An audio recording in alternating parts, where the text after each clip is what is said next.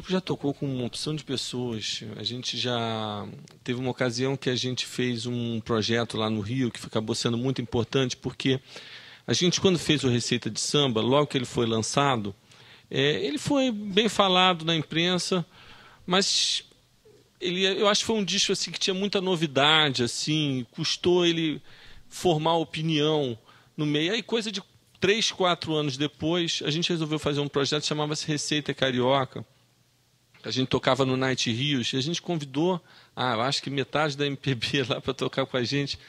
Tocou Ginga, tocou a Leila Pinheiro, tocou Época de Ouro, Zé Renato, a Dona Ivone Lara, Ivan Lins. Paulinho da Viola. Paulinho da Viola. É, Aquarela, Carioca. Carioca. Enfim, muita gente. Moraes Depois a gente também tocou com Moraes Moreira. A gente tocou com muita gente. João Bosco. João Bosco. Nem Mato Grosso. Nem Mato, Mato Grosso. Grosso. A gente fez um, quase meio disco com Ney Mato Grosso. E agora a gente está fazendo com Elza Soares. E agora a gente está tocando no, no Sesc com a Elza Soares. Essa música eu fiz com o Eduardo Neves, o saxofonista flautista.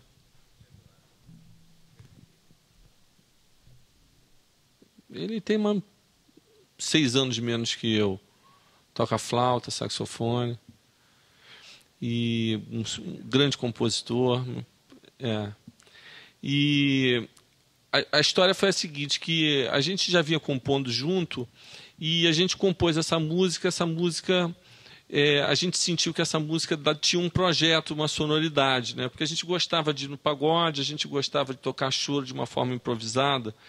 E quando a gente fez essa música, a gente pensou em apresentar ela no Beco das Sardinhas e porque eu tinha ido lá, tinha achado legal. Aliás, o Nó até tinha tocado lá no Beco das Sardinhas também. Eu tinha achado uma coisa muito simpática da boemia carioca, meio portuguesa e tudo. E aí a gente fez essa música. Essa música tem um, uma opção de influências, né? Influência da, do fraseado do choro, do jazz, tem um pouco do pop também.